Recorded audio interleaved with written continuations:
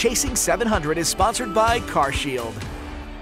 Coming into today, the Cardinals had not scored an earned run since game one of Saturday's doubleheader against the Reds. Just think about how long ago that was. They narrowly avoided being no hit last night and needed something to go right in today's matinee in San Diego. Jack Flaherty on the hill today, and he was not greeted too kindly in this one. Jurickson Profar tees off on this first inning fastball from Flaherty and deposits it into the seats. Padres up. But stop the presses, I have breaking news. Our long national nightmare is over. The Cardinals have scored a run. Lars Nootbaar breaks the 47 inning streak without an earned run with that homer. And I tell you what, it gets even better. Brendan Donovan just hit a grand slam. The Cardinals are up 5 to 3 right now. Coming into today's game against the Padres, the Cardinals held the dubious honor of being the first team since the 1995 Tigers to score zero runs and record nine or fewer hits over a three-game span. But as you might have expected, the manager is still playing it calm about, about the slumping offense. You can tell about people when you when you go through what we're going through right now, how they respond to it.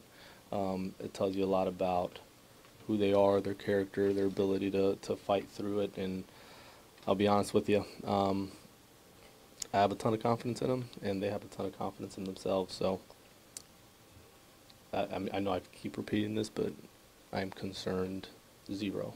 Mm-hmm. Yeah. I know it's still baseball season, but fall isn't the busiest time on the sports calendar for nothing. The Blues kicked off their season today with day one of training camp at Centene Ice Center, and it's sure to be a camp full of questions. There are a few new additions this year, including forward Noel Acciari and goaltender Thomas Greiss, brought in to back up Jordan Binnington.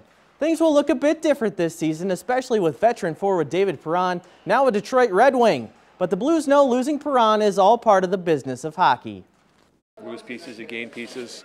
Um, yeah, we're, we're ready to uh, you know prove some people wrong and, and be a part of uh, uh, a good hockey team this year um, in a tough division. He was a very good player here for us and a very good teammate. You know, um, but that's you know that's the way the game goes with salary cap and things like that. Um, it's unfortunate, but it's it is what it is. I mean, but he contributed to this hockey team, and he was a big part of us winning the championship and being a real good player and driving our culture and being a good teammate here.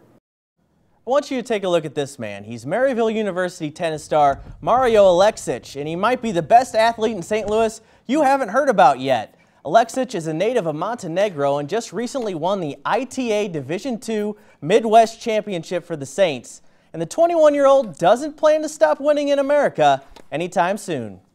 From the moment that I that I started the tournament, I had I knew that I I should win this tournament because I came here with the goal to win in America. So that's why I'm, if I'm apart from my home homeland and people that I love, I should be here doing some good stuff. Yeah. And that's why why I believed in it.